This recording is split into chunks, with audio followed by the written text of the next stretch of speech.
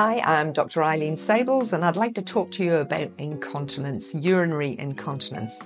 Incontinence is a loss of urine when you don't want to be losing urine. So, in other words, before you get to the toilet. And some people will get an urge and just not get to the toilet in time before they start to pee. And others, when they cough or laugh or pick something up that's heavy, they will get what's called stress incontinence and use, lose a little bit of urine. This is a really common problem in females, and it gets more common as you get older. Um, over the age of 70, about 50% of women have a problem with incontinence. This is more common after you've had a baby because that baby has stretched all the ligaments and stretched the muscles in the passages on the way out. So instead of them forming a nice V like this, they're more like a sack of potatoes.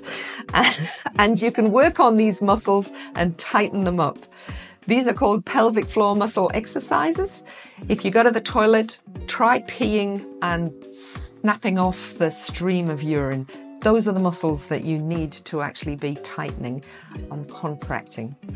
There are physiotherapists who are pelvic floor physiotherapists who specialize in helping you with this if you find this really difficult.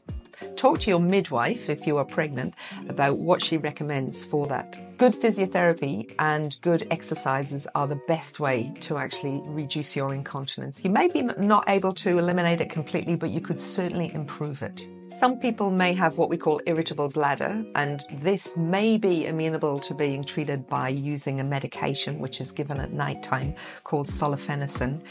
It won't be for everybody, but it may assist with some people. Your bladder is a muscular organ, so it's got a triangular shaped muscle at the back of it, and if this muscle starts to contract when it doesn't need to be contracting, it will give you the urge to actually go and want to pee. And some people will wake up several times a night, maybe even six or seven times a night wanting to pee, these may be the people who would benefit from medication.